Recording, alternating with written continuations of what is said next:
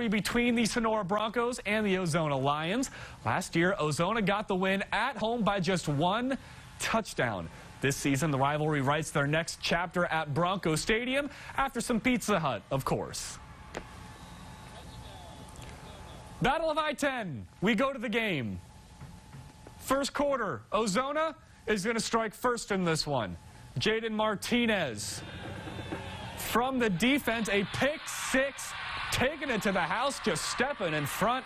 And the Lions are going to take a 7 0 lead. Ozona is going to try to add some offense as well.